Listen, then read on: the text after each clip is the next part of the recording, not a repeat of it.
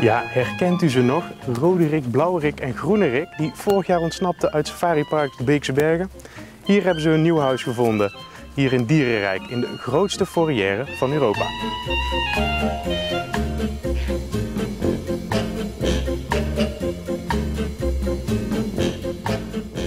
Vogels zijn eigenlijk altijd een beetje ondergeschikt kindje in de dierentuin. We kennen wel de olifant, de tijger, maar juist een vogel is heel mooi. En met zo'n foyer kan je hem eigenlijk op een hele andere manier laten zien als wat je vaak ziet in een kleinere foyer, waar ze toch niet hun natuurlijke gedrag kunnen laten zien. En in zo'n foyer, dat is eigenlijk ja, de nieuwe dierentuinen willen hele grote foyers hebben, waardoor je kan laten zien hoe mooi ze zijn om te vliegen. En zeker zo'n grote vogel als een pelikaan.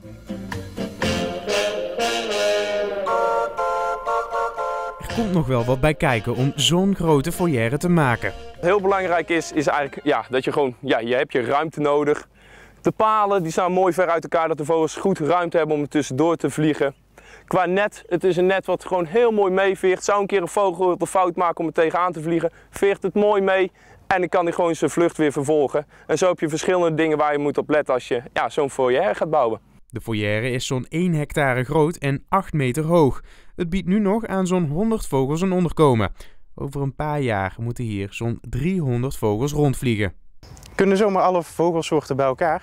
Nee, zeker niet. We letten op met uh, de vogels die we bij elkaar zetten dat ze elkaar natuurlijk geen last gaan eh, zetten. We hebben een klein, of kleiner, ook nog een hele ruime foyer bij de zeehonden. Daar komt bijvoorbeeld een zeearend te zitten. Nou, die wil je niet hebben, zo'n zeearend, bij een koereiger. Want een zeearend lust wel een koereiger. Dus daar moet je wel heel goed op letten dat je eigenlijk ja, soorten hebt die elkaar niet uh, eten. En die zeearend is denk ik ook afgeschermd voor het publiek? Ja, de zeearend is ook afgeschermd voor het publiek.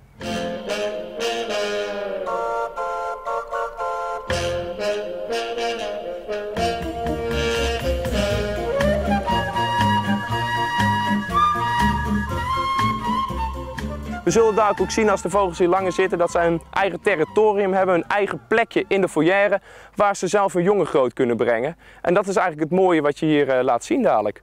En kunnen, kan het publiek ook zomaar in het broedseizoen hier doorheen lopen? Ja hoor, de vogels die hier zitten, die wennen heel snel aan het publiek. En de meeste vogels die hier zitten, kennen eigenlijk het publiek al. Dus het is ja, even wennen voor elkaar, maar daarna zal het heel goed gaan.